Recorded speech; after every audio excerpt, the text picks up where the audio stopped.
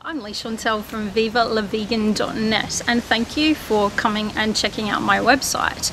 On this website you'll see over a decade's worth of information from articles and blogs to interviews to books to recipes, how-to videos, podcasts and so so much more. I hope you have a look around, find what you need. Um, you can have a look at the recipes, it'll take you to YouTube and some podcast links as well if you want to listen to some things. You can have a look at my books. They're available for um, ebooks at Smashwords and you can also buy them online from all the um, online bookstores for the print version. I'm doing this website, as I said, for over 10 years and this year, 2017, I celebrate my 20th year as a vegan. And a lot's changed since then and this website's been around for a lot of time and much longer than vegan being hashtag on trend and most people knowing about it and people knowing how to pronounce quinoa for example. So have a look around. Um, this year I'm getting involved in a few different things in my state of um, Queensland in Australia.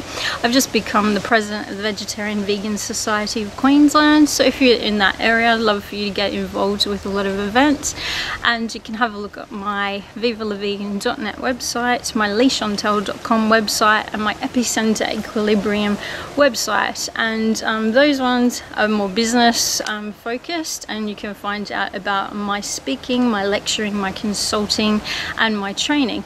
I give a lot of training not just on the vegan lifestyle and the vegan diet but also on my other favorite topics online etiquette, um, communicating better online, social media and online marketing, how to promote yourself online, um, some tech tips and how to stay safe and secure online. And also um, I, because I've run a few big festivals in the past from my not-for-profit, I do staging effective events and engaging volunteers.